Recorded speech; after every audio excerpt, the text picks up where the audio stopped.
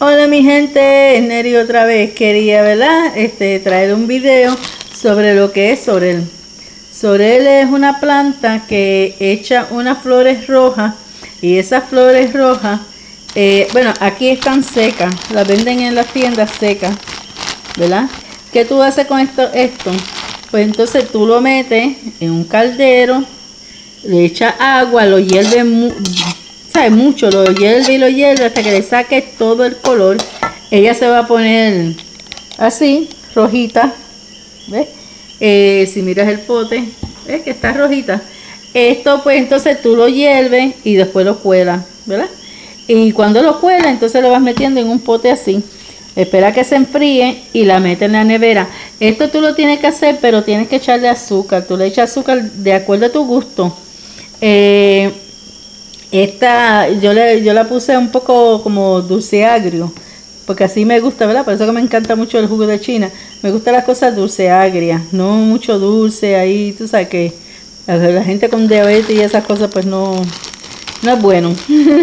Ahora, esto tú lo puedes comprar en la tienda. Eh, no sé cómo le llaman, se me olvidó Grow, Growmax, creo que es Growmax.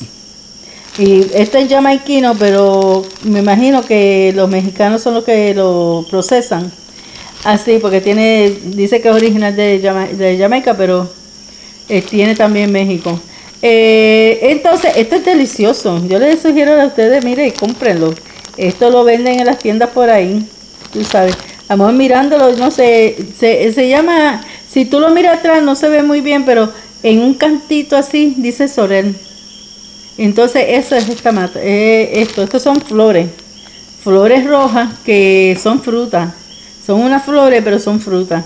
Y esa misma fruta es la que se hierve, se cuela y se embotella.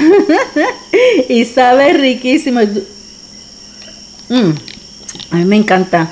Ahora, pero yo le voy a echar un poquito más, con un poquito de hielo y creo que yo me voy para tomarme mi juguito.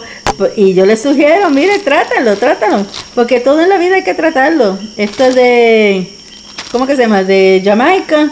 Eh, nosotros comemos comida italiana, eh, chino, comida china. Yo sé hacer hasta arroz chino. Este, hay que probar de todo. Y lo que sabe bueno, uno lo sigue. Lo que sabe malo, pues uno lo descarta.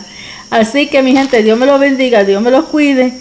Y les reto que lo pruebe y le va a encantar. Así que Dios me lo cuide a todos. Bye bye.